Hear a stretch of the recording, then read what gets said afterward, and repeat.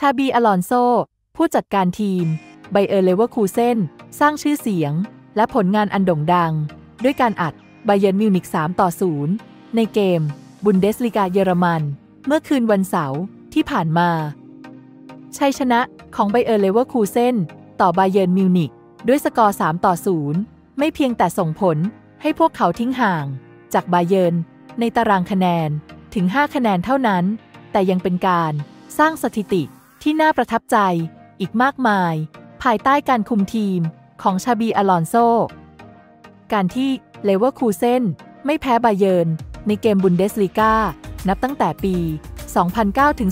2010 และการชนะบาเยิร์นที่บ้านติดต่อกัน เป็นครั้งแรกนับตั้งแต่ปี 1997 แสดงให้เห็นถึงการพัฒนาและความมั่นใจที่เพิ่มขึ้นของทีมห้างขายยา ภายใต้การนำของอลอนโซ นอกจากนี้การที่เลเวอร์คูเซนไม่แพ้ใครใน 31 นัด ติดต่อกัน ในทุกรายการ และอีกเพียงหนึ่งเกม จะทำให้พวกเขาทาบสถิติ การเป็นทีมบุนเดสลีกาที่ไม่แพ้ใคร ติดต่อกันมากที่สุด ตลอดกาล ถือเป็นเครื่องหมายของความสำเร็จและความแข็งแกร่งของทีมในยุคของอลอนโซ เก็บแต้มได้มากที่สุด เป็นอันดับ 3 ในประวัติศาสตร์ของบุนเดสลีกา หลังจากผ่านไป 21 นัด และชาบีอลอนโซ